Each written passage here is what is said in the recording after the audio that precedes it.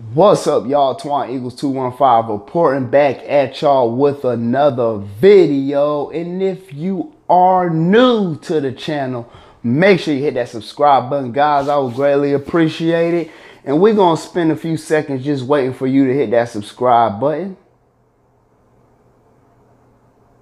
So by now, I hope you found that subscribe button go ahead and hit that subscribe button. Guys, I'm on a road to 100 subscribers, and I would greatly appreciate it if y'all hit that subscribe button and um, help me out to get there. Um, also, if you can, smash that thumbs up on that like button, guys, to help me get this video to 15 likes, guys. I would greatly appreciate it. Now, the elephant in the room, guys, is the running back position. We haven't got one yet. The time is closing in.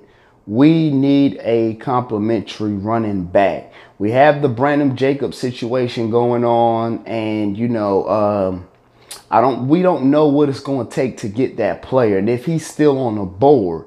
If he's not, then what's our plan B? We need a plan B. You can't just, you know, you got to have two options. You know what I mean? Uh, the free agent running backs are pretty much kind of getting thin and gone.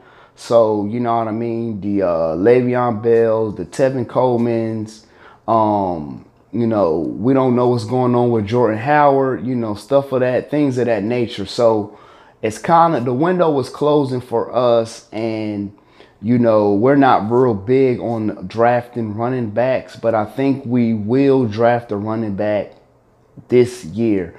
Um, and I think that's something that we need. Now, I'm going to give you a few things that I like and that I would want in a running back.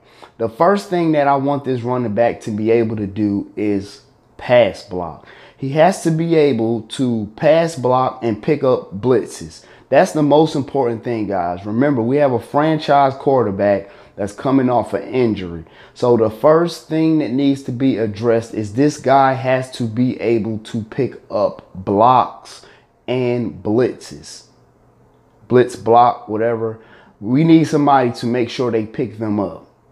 You know what I mean? You find the weakness on the uh whoever needs help on that line, give them a chip, whether it's the, you know, far, as far as the D ends and you know you go run your route. But that's the most important thing, guys. Trust me. The second thing will be we need somebody to get in between the tackles. Corey Clement is pretty good taking the ball outside and and and and uh you know getting the yards as far as outside wise. Um, but we need a guy in between the tackles to get through these A and B gaps and really shoot the hole and you know accelerate to that second and third level. You know what i mean? That's another important thing. We just don't need a guy that's just you know flat out just small and we need we need a back. We need a we need a, a dog. A dog straight just run you over pick up blocks you know can catch out the backfield also that's the kind of complete back that we need we need the all-purpose complete back and you know, like I said, as far as now, it's looking like um, that could be Josh Jacobs. And to be honest, guys, we just don't know where we stand with that. You know what I mean? What it's going to take to get them, what we got to do. So, you know, you got to have a plan B. You know, we got to have a plan B. You got to have something else besides just that guy. You know what I mean? So, what are we going to do? You know what I mean? We that's that's what I think we need.